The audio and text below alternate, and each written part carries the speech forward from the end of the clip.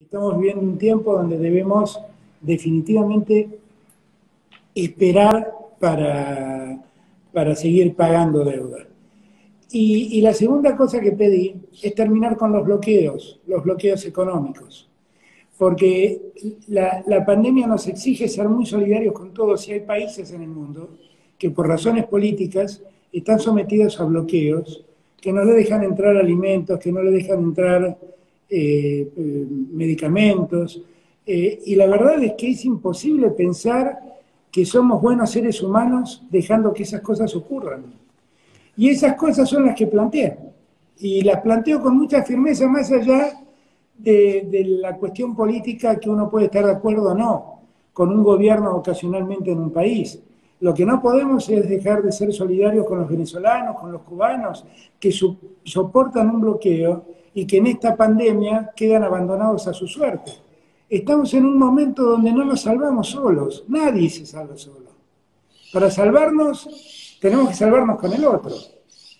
Y por eso tenemos la oportunidad, como, como políticos y como gente de esta raza humana, de poner la solidaridad como bandera. Nosotros no podemos admitir la cultura del descarte. No podemos admitir que nosotros hay seres humanos que debemos descartar porque están sobrando y viviríamos más cómodos sin ellos. Acá nosotros tenemos que tener, construir un gran paraguas que a todos nos ampare y que a todos nos proteja.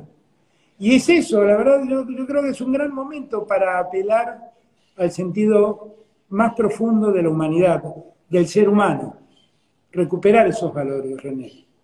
En el caso argentino, nosotros hemos dicho desde el primer día que llegamos que no vamos a pagar la deuda a costa de los argentinos. Nosotros hemos ofrecido un plan para poder cumplir, pero no a costa de postergar a la Argentina. Para nosotros la prioridad es la Argentina y en este momento la prioridad es la salud y la vida de los argentinos. Este sistema capitalista te puede durar 10 minutos la fortuna. Mirá, mirá cómo se han destruido empresas y fortunas en minutos porque la pandemia arrasó con todo. Y entonces, eh, en verdad es para que pensemos de qué nos sirve construir y acumular y concentrar tanta riqueza si un virus puede terminar con toda tu riqueza y toda tu fortuna en 10 minutos. Hasta acá los despidos no se han concretado y no se van a concretar.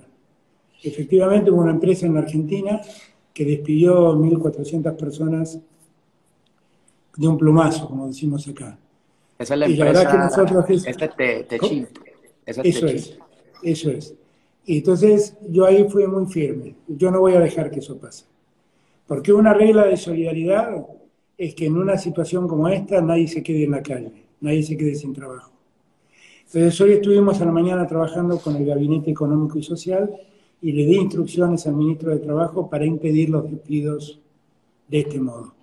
Y vamos a cuidar durante los meses venideros el trabajo de los argentinos. Nosotros eh, estamos trabajando eh, con una lógica. La lógica es ponernos en una extensa cuarentena para darnos tiempo a organizarnos. La cuarentena, que es el encierro en sus casas, pedirle a todos que se queden en sus casas, y se cuiden y no se vinculen a otras personas, con eso lo que estamos logrando es que el virus vaya más despacio de persona a persona. Y ganando tiempo, estamos construyendo toda la infraestructura sanitaria necesaria para poder hacer frente a lo que puede ser el peor escenario.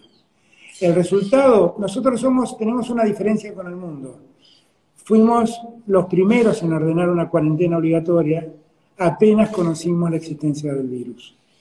Y hasta acá los resultados parecen ser buenos. Uno, vuelvo a repetirte, pelea contra un ejército invisible, entonces uno no puede quedarse tranquilo, pero los primeros resultados parecen decir que nosotros estamos dominando al virus. El, lo importante es que vos domines al virus como sociedad y no que el virus te domine a vos. Lo que sí sabemos, y yo lo sé de Italia porque me lo comentó en su momento gente de Italia, es que en realidad el encierro, la cuarentena, a veces provoca muchos casos de violencia de género, violencia familiar, muchos casos de femicidios, lamentablemente, y también para la gente que está sola y deprimida, muchos casos de suicidio. Y nosotros tenemos que evitar las tres cosas. Las mujeres en Argentina que son víctimas de, la agresión de, sus, de un hombre o de su pareja, tienen un teléfono donde llamar para pedir auxilio e inmediatamente el auxilio lo tendrá.